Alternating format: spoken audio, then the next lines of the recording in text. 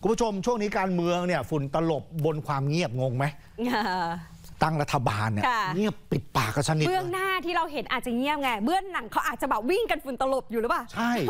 ไม่ยอมให้ค่ะข่าวเลยนะฮะตอนนี้โดยเฉพาะแกนนำพักเพื่อไทยค่ะเมื่อวานติดต่อทั้งวันโทรไปวางสายบ้าง ไม่รับสายบ้างนะฮะแต่การเมืองมีคนหนึ่งนะที่ถึงแม้จะเงียบโดยสถานะก็คือค่ะปฏิบัติอายุติปฏิบัติหน้าที่สสชั่วคราวค่ะแต่กระแสความนิยมนี่ล้นหลามค่ะ นั่นก็คือหลาย ๆ คนเนี่ยไม่เรียกว่าว่าที่ด้วยนะฮะหลายคนเรียกว่านายกของเรา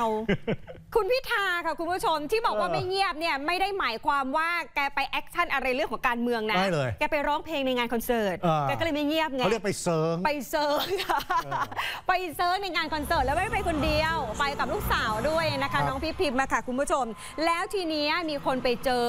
คุณพิธากับลูกสาวไปที่คอนเสิร์ตแบบนี้เขาก็เลยถ่ายคลิปมาลงในโซเชียลโอ้โหอะดูกันหน่อยค่ะ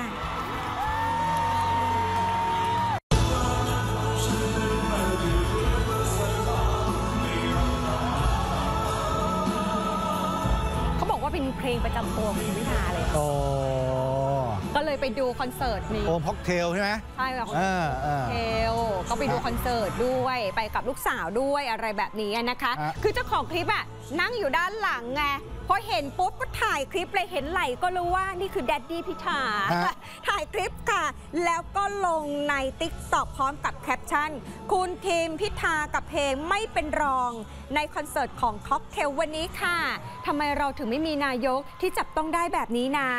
แล้วชาวด้อมส้มยังไงคะ กดไลค์กดแชร์ค่ะ แล้วก็คอมเมนต์เยอะมากๆเลย เท่าที่อ่านเนี่ยคอมเมนต์ส่วนใหญ่ไปนสาวๆทั้งนั้นเลยเออแล้วเขามาบอกว่ายังไงอุ้ยนายกตัวจริงหล่อมากเลยค่ะเห็นไหมคะเขาไม่ใช่คำว่าว่าที่นะคะอืมเขาใช้คำว่านายกค่ะฮะแล้วก็บอกว่าฉันดูคลิปนี้ฉันทำไมต้องยิ้มตาม ท่านนายกน่ารักมากค่ะรออะไรปานนี้อืมเรียกว่าเป็นนายกในดวงใจฮะอันนี้ก็คือเป็นคอมเมนต์ส่วนหนึ่งอะนะคะ คุณผู้ชมคะที่เห็นคุณพิธาผ่านทางคอนเสิร์ตของค็อกเทลฮะแต่ว่าไม่จบเพียงเท่านั้นค่ะ เพราะว่ามีคนเนี่ยเห็นคุณพิธาตัวเป็นๆแบบใกล้ชิดค่ะ คุณผู้ชมคะและเห็นที่ไหนเห็นขณะที่กำลังโหนอยู่ที่ราวอืม BTS โอ้นี่ อยู่ที่ราว BTS โหนอยู่แล้วไปโหนอยู่ใกล้เขาด้วยโอ้มีภาพไหมคะ มีมีมีอะเดี๋ยวไปดูภาพดูนะคะตรง BTS ซะหน่อย คือคนเขาสงสัยไง ใช่หรือเปล่าใช่ไม่ใช่ นะฮะไปดูภาพ BTS หน่อยนะฮะ ที่ BTS เนี่ยเวลาเราไปเจอเนี่ยคุณว่าใช่ไหมอะใช่ คุณเห็นติ่งหูคุณรู้เลยเหรอ เห็นแค่นี่ละค่ะ ติ่งหูดิฉันก็รู้แล้วคือใคร เห็นไหม นี่เป็นไง อ้าว ในนั้นเขาเขียนว่ายังไงบ้าง ในนั้นก็เขียนบอกว่านี้ว่าคุณทุกคนช่วยดูให้เราหน่อยได้ไหม ว่าผู้ชายที่ใส่เสื้อดำคนนี้ที่จุงเด็กน้อยมาหนึ่งคนน่ะ ใช้คุณพิธาหรือไม่อย่างไร ตอนนั้นเรายืนโหน BTS อยู่หันไปเจอคนข้างๆเฮ้ย ใช่ไม่ใช่อะฮะใช่ไม่ใช่แต่ใจหนึ่งฉันก็ไม่กล้าทัก เพราะว่าพอดีเขามากับลูกสาวไงอืม ฉันก็แอบเกรงใจ แต่ว่าก็กรี๊ดอยู่ในใจนะ แต่เก็บทรงอยู่เดี๋ยวเขารู้ตัวอ่า รักนะแต่ไม่แสดงออกอะไรประมาณนี้คนพอไปโพสต์ยังไง เออคนก็บอกว่าใช่มาเออหลายคนบอกว่าฉันเห็นแค่ติ่งหูฉันก็รู้เลย โอ้ ว่านี่แหละค่ะ คุณพิธาแน่ๆ ของแท้แบบร้อยเปอร์เซ็นต์นะคะ หลายคนก็บอกว่าใช่ใช่นายกของพวกเราเองเห็นไหมคะ ทุกคนเรียกนายก เออ ใครเรียกว่าที่นายกเลย แล้วก็บอกว่าคนที่อยู่ในคลิปรวมถึงคนที่ขึ้น BTS วันนั้น คุณแต้มบุญสูงเหลือเกิน ได้เจอคุณพิธาแบบตัวเป็นๆใกล้ชิดแบบนี้ค่ะ เอ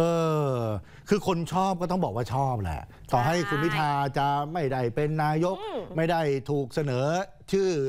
เข้าไปเป็นโหวตไม่ถึงอะไรอย่างเงี้ย ก็เป็นนายกในดวงใจของใครหลายคนนี่คือคนชอบนะคนชอบอ่านี่ก็เหมือนกับโดยเฉพาะเหมือนกับเป็นคนรุ่นใหม่อะอืม แล้วก็ใช้ชีวิตโดยที่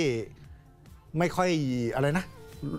ไม่ต้องมีพิธีรีตอ่าองไม่ต้องมีพิธีรีตอง ใช่สบายๆแบบนี้ค่ะ บางทีเราก็เห็นภาพไปเที่ยวไปอะไรแบบเนี้ย แล้วเนี่ยคน แต่ผมคำคอมเมนต์ คือคนชอบที่เขาอินจริง ๆ นะใช่ค่ะ โอ้โห พวกคุณที่แต้มบุญสูงและจริงแล้วคุณไม่ชอบคุณอย่าเข้าไปเม้นตำหนิอยู่ในนั้นนะเออคุณดูลุมนะๆอ๋อ เจอลุมใช่ไหมเจอรุมคือนะคือเรื่องแบบเนี้ยก็ต้องยอมรับว่าชอบไม่ชอบมันก็เป็นเรื่องสิทธิ์ของแต่ละคนใช่แหมแค่ไม่ไปด่ากันก็พอแล้วผมว่าถูสักงต้องคมไทยอะใครจะเชียร์จะชอบก็ว่ากันไปแต่ละเมิดสิทธิ์กันเนี่ยอะไม่รู้นั่งรถไฟฟ้าไปดูคอนเสิร์ตอืมอมค็อกเทลเมื่อกี้หรือเปล่านะ ไม่รู้แต่ว่าชุดตอนที่ไปดูคอนเสิร์ตคือคนละแบบไงเคยเห็นเซิร์งไหมล่ะ นี่นี่เซิร์งเซิร์งเออในชุดแบบนี้ไม่น่าใช่นะ อืมเป็นไง ทักซิโดมาโดอ่าคนละใช่ไหมแนวกับเมื่อกี้ อ่าเมื่อกี้อาจจะไปตลาดนัดจตุจักรไง อ่า อันนี้ก็คือมาเซิง แต่ว่าเป็นคนเซิงที่หล่อมากจริงๆนะ อะเอามาฝากค่ะกันเป็นสีสันกันไปคุณผู้ชมค่ะ ฮะ